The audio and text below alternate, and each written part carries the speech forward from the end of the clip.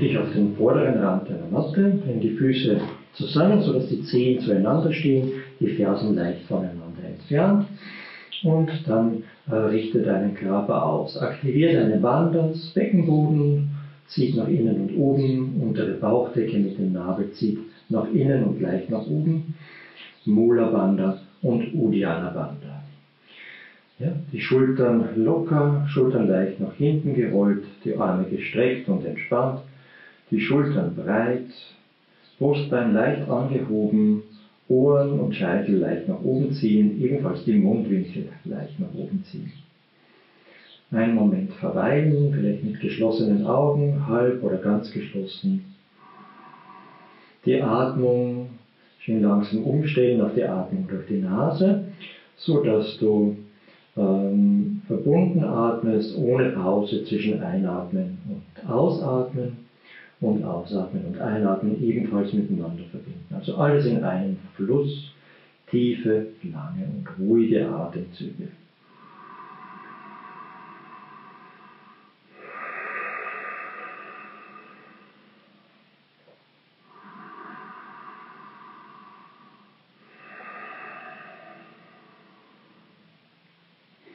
Öffne dann deine Augen, Bewegung und Atmung sind wieder miteinander in Verbindung, koordiniert miteinander. Mit der Einatmung bringst du die Hände nach oben.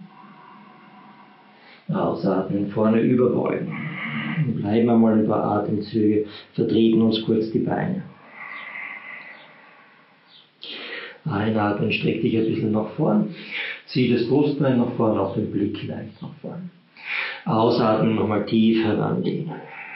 Mit der Einatmung wieder nach oben aufrichten, die Hände mit hinaufnehmen. Und mit der Ausatmung die Arme zur Seite. Aus der Sonnenkurs A, mit der Einatmung kommen nach oben.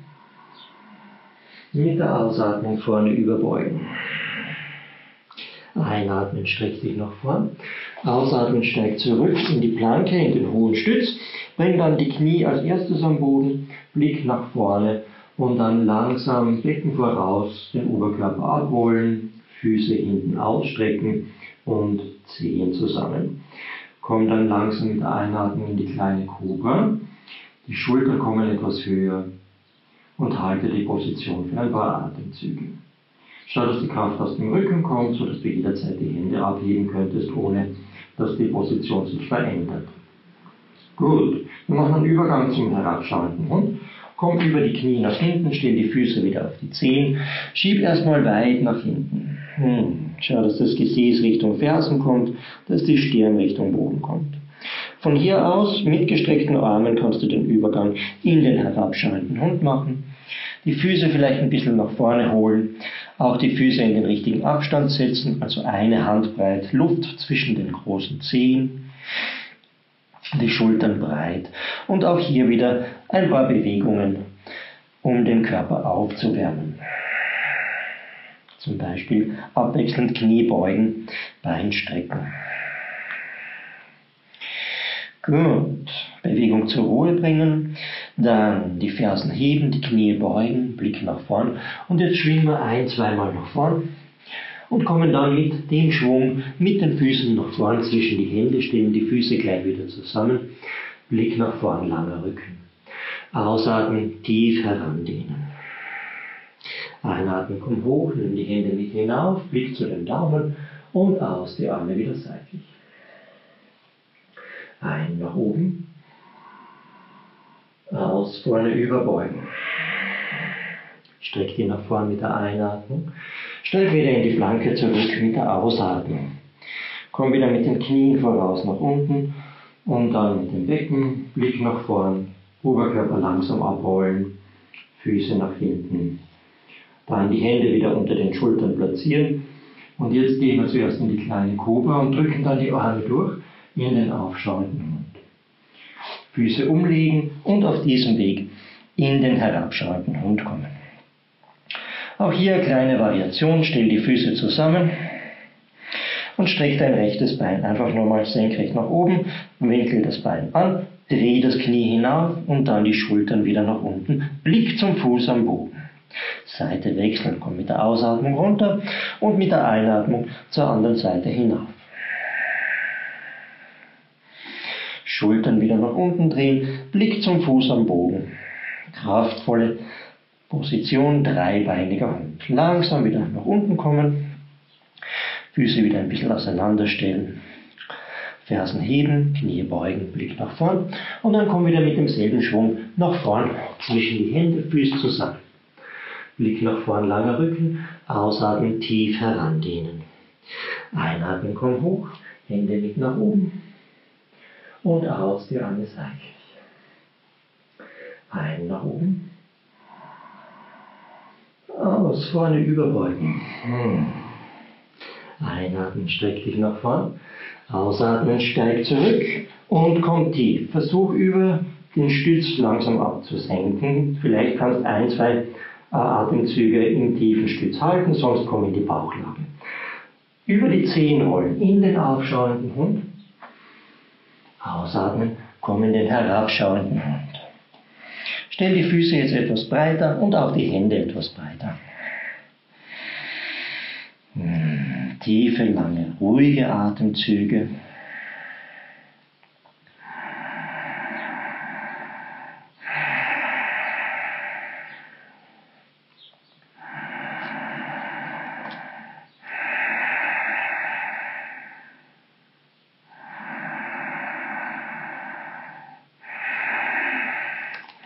Bring dann die Füße wieder in die normale Position, auch die Hände und komm mit der nächsten Einatmung nach vorn. Blick nach vorn, langer Rücken, ausatmen, tief herandehnen. Komm langsam nach oben, nimm die Hände mit hinab und zieh dann die Hände vor dein Herz in Anjali Mudra. Beug die Knie, komm in den Blitz mit der nächsten Einatmung und ausatmen, vorne überbeugen. Einatmen, streck dich nach vorn. Steigen im linken Fuß weit nach hinten, setz die Ferse hinten auf, sodass der Fuß schräg steht. Vorne das Knie ist gebeugt und der Fuß ist immer ein bisschen weiter vorne als dein Knie. Komm mit der nächsten Einatmung nach oben und ausatmen, Hände wieder zurück auf den Boden. Steig nach vorn mit der Einatmung, ausatmen, herandehnen.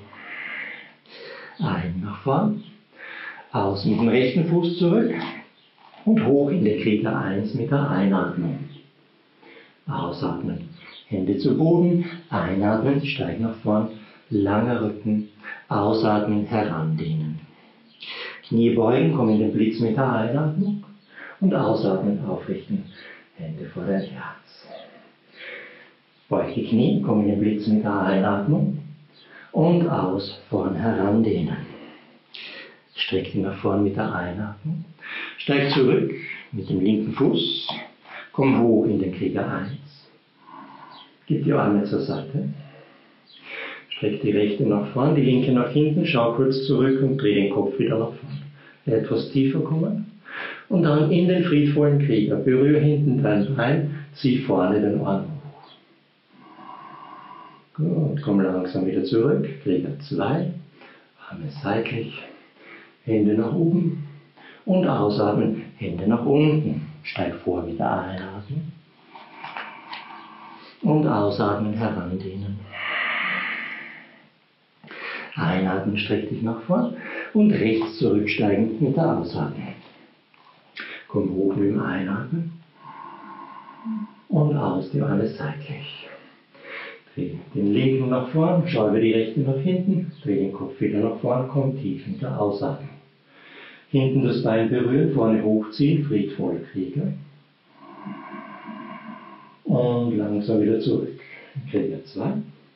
Arme seitlich. Mit der Einatmung nach oben. Mit der Ausatmung nach unten gleichen. Vorsteigen mit der Einatmung. Und ausatmen, tief herandehnen. Beug die Knie, komm in den Blitz mit der Einatmung. Und ausatmen, langsam aufrichten. Gut. Komm in die Mitte der Matte. Stell die Füße hüftbreit. Ellbogen nach hinten, Blick und Brustbein heben. Ausatmen, vorn herandehnen.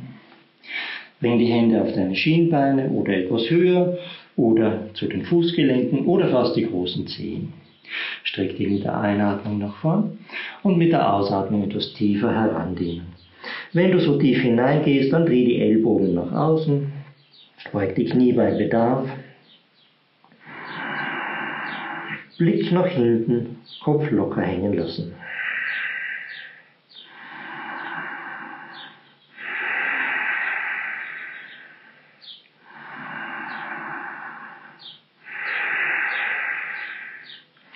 Einatmen, streck dich nach vorn.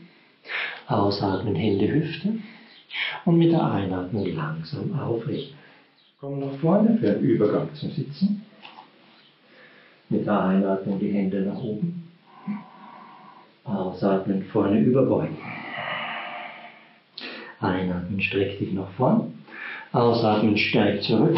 Komm tief. Ein aufschauender Hund. Ausatmen, herabschauender Hund. Bleiben kurz im herabschauenden Hund und bereiten uns vor für den Übergang zum Sitzen. Wir bringen dann die Knie nach vorn, jeweils das Knie zum Handgelenk, die Unterschenkel verkreuzen und dann Hände nach hinten zurücksetzen, nach vorne aufstrecken. Gut, komme in den Start. Gib deine Hände links und rechts von deinem Becken. Zieh die Zehen herbei, schieb den unteren Rücken nach vorn, das Brustbein ein bisschen höher, Schultern zurückrollen, Kinn absenken, Ohren hochziehen.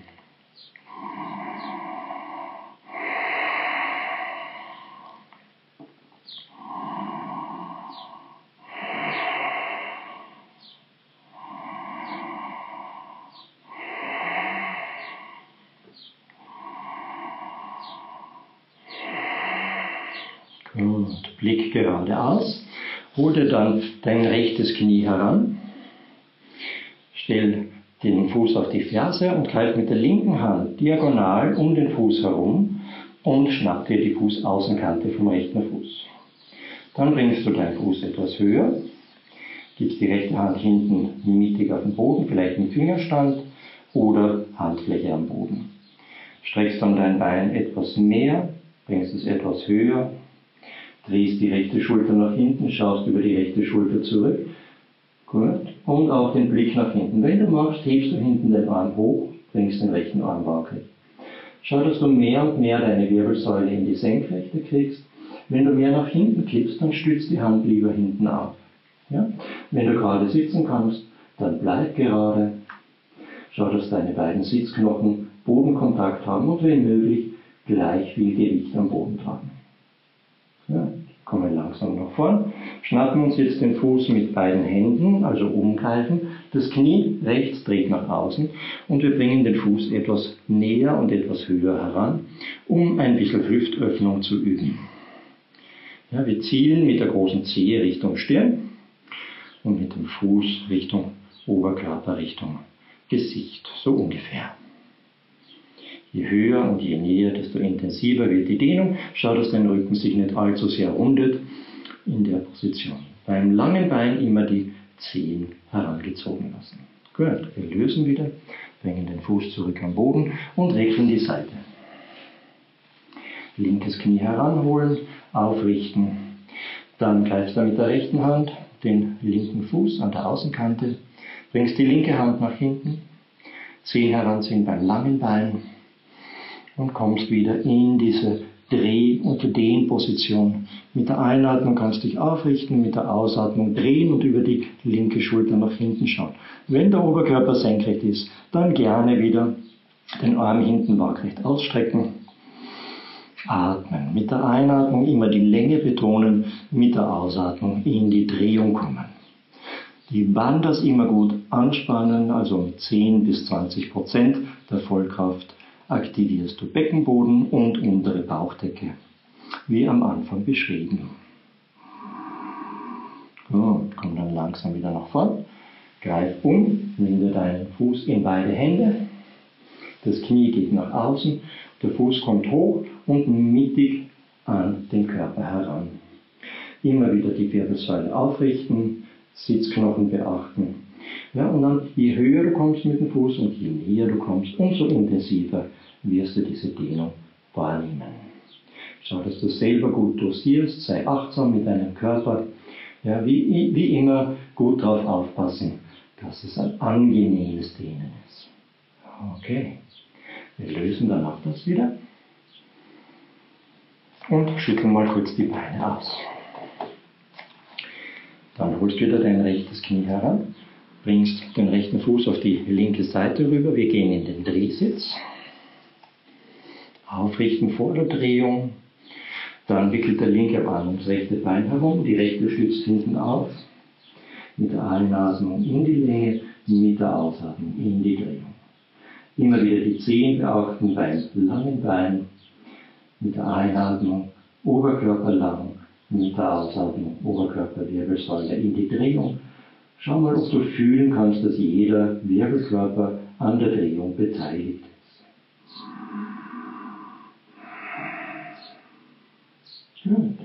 Komm langsam wieder zurück und wechsel die Seiten. Erst aufrichten und lang werden, Sitzknochen am Boden ankommen lassen. Dann mit dem rechten Arm ums linke Bein herumwickeln, die linke hinten aufstützen und wieder Zehen heranziehen beim rechten Bein. Mit der Einatmung in die Länge, mit der Ausatmung in die Drehung. Schau, dass du mit jedem Atemzug deine Position neu entdeckst, neu einnimmst. Dass immer ein klein wenig Bewegung drin ist, ein klein wenig Neuanpassung, ein klein wenig Neufinden und Erfinden der Position, in der du gerade drinnen bist. Gut. Langsam wieder nach vorne auflösen. Die Beine ausstrecken und kurz ausschütteln. Wir kommen dann zur Kräftigung der Bauchdecke, Rumpfmuskulatur, Bauchmuskulatur. Wir gehen in eine erste sanfte Version vom Boot. Wir lehnen uns zurück, die Arme strecken dann nach vorne, der Rücken schön in die Länge strecken, Brustbein ein bisschen ranheben und Schultern leicht zurückziehen, so dass der Rücken gefühlt gerade ist, der Blick nach vorn. Ja, das halten wir jetzt ein paar Atemzüge. Wenn es zu intensiv ist, komm mit den Händen wieder zurück auf deine Schienbeine. Wenn du etwas mehr Kraft investieren kannst, dann kannst du mal deine Beine anheben ins halbe Boot und mit Unterstützung deiner Arme äh, langsam schauen, welche Dosis an Kraft du heute investieren magst an dieser Stelle. Wenn du die Arme streckst, wird es ein bisschen intensiver. Wenn du die Beine streckst, bist du in der Vollversion. Und dazwischen gibt es noch die Möglichkeit, die langen Beine zu unterstützen. Gut. Dann holst du deine Knie heran und streckst deine Wirbelsäule in die Länge als Zwischenübung. Gut. Zweite Runde. Komm gleich ins halbe Boot mit Unterstützung. Und wenn du magst, streckst die Beine aus. Und wenn du magst, löst du die Hände. Schau mal, welche Variante für dich jetzt an der Stelle wirklich passend ist, so dass du gut atmen kannst. Wenn du aufgehört hast zu atmen, fangst einfach gleich wieder an.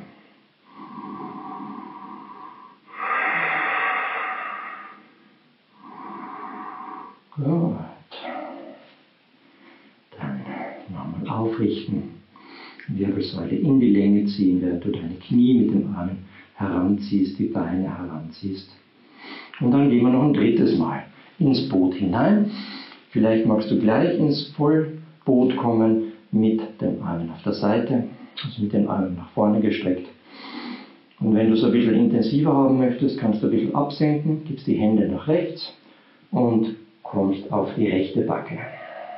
Hebst kurz so ein, zwei, drei Atemzüge auf dieser Seite und wechselst dann. Hände rüber auf links und auf die linke Backe kommen.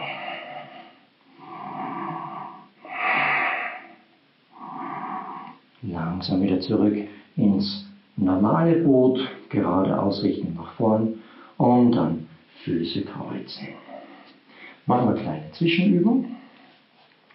Hände links und rechts auf den Boden drücken, ähm, Becken abheben und wieder hinsetzen. Dann schau mal, dass du mit den Schultern nach vorne zu den Knien kommst, beziehungsweise dann anschließend die Knie anhebst und vielleicht auch nochmal die Hände nach vorne strecken. Wenn beide Übungen gut geglückt sind, versuch mal beides, beides miteinander zu kombinieren. Kurz mal Becken abheben und wieder hinsetzen. Sehr gut. Beine ausschütteln und dann machen wir einen Übergang in die Rückenlage. Rechtes Knie heranholen, linkes Bein ausgestreckt, runder Rücken, langsam zurückgleiten, nimm dein langes Bein als Gegengewicht und komm in die Rückenlage. Beide Knie heranholen und ein bisschen links-rechts pendeln. Stell dann die Füße auf, so dass deine Hände zu den Fersen kommen können oder so nah wie möglich. Ja? Und lass die Knie zueinander anlehnen. Die Füße machen so eine Art Schneepflug. Das heißt, die Zehen schauen ein bisschen zueinander, die Fersen gehen ein bisschen eher nach außen. Gut. Von hier aus heben wir das Becken langsam hoch. Das heißt, wir rollen langsam mit dem Steißbein beginnen das Becken auf, heben dann das Becken hoch und versuchen Wirbel für Wirbel für Wirbel für Wirbel die Wirbelsäule abzuheben vom Boden, kommen mit dem Becken so hoch, wie es gerade möglich ist. Und wenn das Gewicht angekommen ist im Bereich der Schultern, dann kannst du es dabei belassen oder wer möchte, kann auch noch einen Schritt weitergehen. Ja, wann immer du merkst, du möchtest wieder ablegen, dann beginnst gleich mit dem langsam ablegen. Schau mal, ob du noch einen Schritt weitergehen magst. Finger verschränken, Arme strecken, Schultern drunter rollen und mit ein bisschen Druck auf die Oberarme, auf die Ellbogen, bringst du auch den Oberkörper noch etwas höher. Stellst die Füße in den Boden, kommst mit dem Becken noch etwas höher in die Schulterbrücke. Gut. Dann löst die Hände und schau mal, ob du Wirbel für Wirbel wieder zurück abrollen. Nach Möglichkeit ein Wirbel nach dem anderen zum Boden zurückkehren lassen, zum Schluss das Becken und dann die Knie umarmen, ein bisschen links und rechts hin und her pendeln. Wir breiten die Arme auf die Seite aus, die Knie bleiben herangezogen und wir gehen in die dynamische seitliche Drehung. Wir beginnen damit, dass wir beide Knie zum linken Ellbogen über absenken, der Blick geht rüber nach rechts. Also Blick ist immer gegengleich. Mit der Einatmung beides hochziehen zur Mitte. Ausatmen, Seite wechseln. Knie rechts, Blick links. Einatmen wieder hoch. Ausatmen, andere Seite. Einatmen hoch. Und ausatmen, andere Seite im eigenen Rhythmus, im eigenen Atemtempo fortsetzen.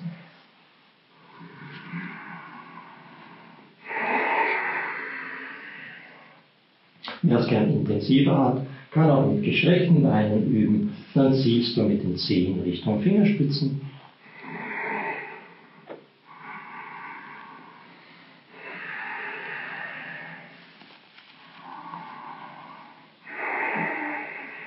Und wenn du auf beiden Seiten gleich oft gewesen bist, kommst in die Mitte zurück, umarmst deine Knie und schaukelst ein bisschen links, rechts hin und her. Streck dann nochmal die Beine nach oben. Heb den Kopf an. Verschränk die Hände am Hinterkopf. Ziel mit den Ellbogen nach vorne Richtung Knie. Wir gehen viermal nach oben mit dem Oberkörper beim ersten Mal geradeaus. Ellbogen Richtung Knie langsam wieder absenken mit der Ausatmung. Beim zweiten Mal gehen wir rechts vorbei. Langsam wieder zurück. Beim dritten Mal natürlich links vorbei. Wieder zurück. Einmal noch geradeaus nach vorn. Und langsam wieder ablegen. Knie umarmen bisschen links, rechts pendeln, Füße auf den Boden schlägen. Und wir kommen zum Abschluss, zur Entspannung. Schau mal, dass wir zuerst die alternative Position zu Shavasana erkunden. Die Knie so zueinander anlehnen, dass es dich keinerlei Anstrengung kostet. Ja, also anstrengungslos. Vielleicht die Füße äh, wieder unsere Schneepflugähnliche Variante bringen. und such die Position, den Abstand deiner Füße, der das am besten und am angenehmsten ermöglicht. Du kannst auch die Hände auf die Bauchdecke legen und mal schauen, ob dir diese Position maximale Entspannung ermöglicht, während gleichzeitig dein Rücken, vor allem der untere Rücken, sich angenehm fühlt. Ja? Das wäre die Alternative zur folgenden Position zum klassischen Shavasana. Für klassisches Shavasana streckst die Arme aus, streckst die Beine aus, lässt die Zehen nach außen, die Füße nach außen kippen, machst die Schultern breit, die Handflächen drehen nach oben, die Daumen schauen nach außen.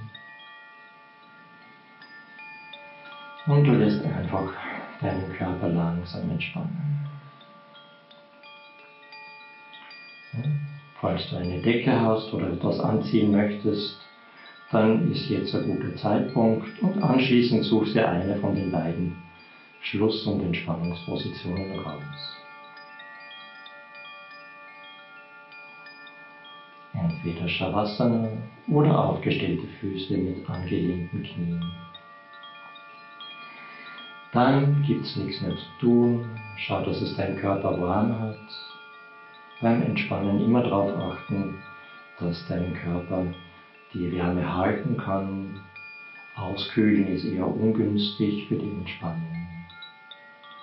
So achte darauf, dass du es bequem hast, angenehm hast, warm hast. Dein Atem fließt natürlich, ohne dass du Einfluss nimmst. Deine Gelenke entspannen und werden weich. Dann gibt es nichts mehr zu tun.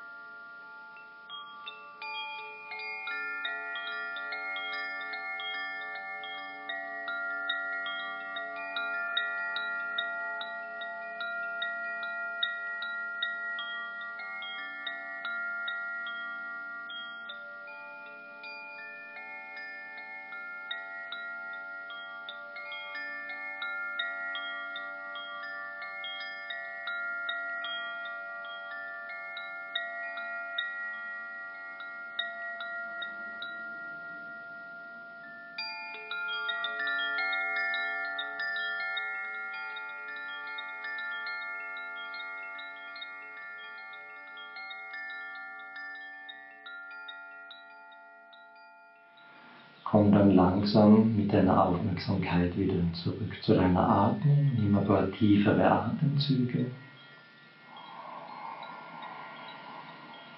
Mach ein paar kleinere Bewegungen mit den Fingern, mit den Füßen. Und dann lass mit der Ausatmung Geräusche entstehen. Lass zum Beispiel mal einen herzhaften Seufzer los, ein herzhaftes Gähnen und auch mit den Lippen diese Vibration erzeugen. Der herzhafte Seufzer entspannt die Leber, klingt dann ungefähr. Ein herzhaftes Lehnen, das entspannt die linke Hälfte des Körpers über die Milz.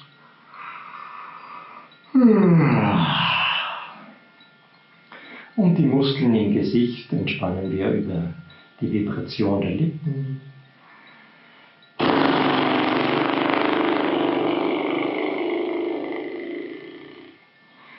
Mach zu Hause diese Geräusche so oft du machst, so oft du magst und so oft du Lust drauf hast. Tiefe, lange und ruhige Atemzüge im Anschluss. Und dann noch ein bisschen strecken und recken.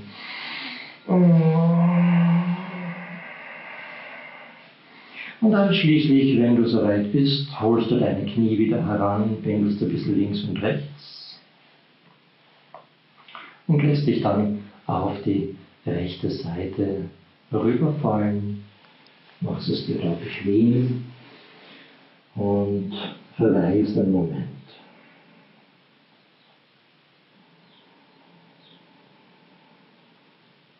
Dann wollen wir langsam über die Seite uns aufrichten. Das heißt, wir wollen den Oberkörper zum Sitzen bringen und das kann man unterstützen, indem man das obere Bein ein bisschen ausstreckt, die Hände, die Arme mit zur Unterstützung nimmt, um dann letztlich zum Sitzen zu kommen. Schau mal, wie du sitzen magst. Es sollte für dich bequem sein, die Wirbelsäule sollte aufrecht möglich sein. Gib dann deine Hände in Gebetshaltung und gönn dir einen Moment des Nachspürens, die Befindlichkeit deines Körpers wahrnehmen, deine Stimmung wahrnehmen als Ausdruck der Schwingung deiner Seele. Und versuch die Klarheit und Wachheit und Frische in deinem Geist wahrzunehmen. Und alle drei zusammen als Einheit, Körper, Geist, Seele. Und alles, was dich sonst noch als Person, als Persönlichkeit, als Mensch und als Individuum ausmacht, das nimm dazu in deine Wahrnehmung sodass du dir erlaubst, dich als Ganzes wahrzunehmen, als einzigartigen Entwurf der Schöpfung.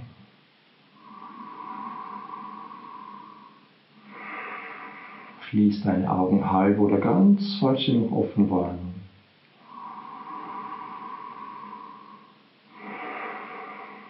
Und wenn du magst, schließ dich mir an bei meinem Schlussmantra. Bringst dann die Hände vor deine Stirn für herzliche und klare Gedanken. Bringst deine Hände vor den Mund für freundliche und wahre Worte. Und bring deine Hände vors Herz für liebevolle und gute Taten. Verneigst dich vor dir selbst mit einer kleinen Geste. Verneigst dich vor deiner Yoga-Praxis Und mit einer etwas größeren Geste verneigen wir uns voreinander und vor der gesamten Schöpfung.